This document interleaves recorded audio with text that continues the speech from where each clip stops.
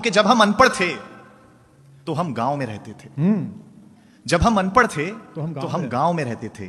हम पढ़े लिखे हो गए तो तनाव में रहते हैं। आह, आह, आह। अच्छा है अच्छा अच्छा जब हम अनपढ़ थे तो हम गाँव में तो अंधेरे में रहते थे। बिजली नहीं होती थी उस वक्त। महसूस करेगा अगली पंक्ति पर। जब हम अनपढ़ थे तो अंधेरे में रहते थे।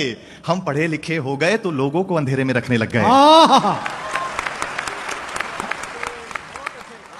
जब हम अनपढ़ थे तो अपनों के लिए जीते थे। परिवार ही सब कुछ होता था। जब हम अनपढ़ थे तो अपनों के लिए जीते थे। हम पढ़े लिखे हो गए तो अब बस सपनों के लिए जीते हैं। हम अनपढ़ थे तो रिश्तेदार होते थे। अगली पंक्ति पर अगर महसूस हो जाए कि मैंने कुछ अच्छी बात कह दी है तो आपकी तालियाँ मिले। जब हम अनपढ़ थे तो केवल रिश्तेदार होते थे। हम पढ़े लिखे हो गए तो अब रिश्तेदार भी दूर के हो गए। वाह, वाह। जब हम अनपढ़ थे तो पैसा घर के एक मुखिया के पास होता था। और सब सुखी होते थे। हम पढ़े लिखे हो गए तो आज पैसा सबके पास है लेकिन सुखी जब हम अनपढ़ थे तो परिवार ही बैंक बैलेंस हुआ करता था।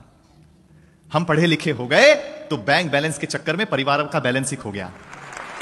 अच्छा है अच्छा है। देखिए अनपढ़ों ने हमें दिया बहुत कुछ है लिया कुछ भी नहीं है। आपका ध्यान चाहता हूँ, अनपढ़ों ने हमें दिया बहुत कुछ है, लिया कुछ भी नहीं है। हम वो आखिरी पीढ़ी हैं साहब, जिनकी माओ का सोशल मीडिया पे अकाउंट ही नहीं है। कितनी अच्छी बात है।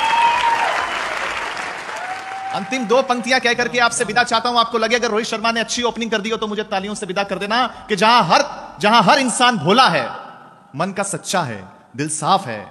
जहाँ हर इंसान भोला है मन का सच्चा है। ऐ शहर तुझसे तो मेरे अनपढ़ों का गाँव ही अच्छा है। बहुत बहुत धन्यवाद।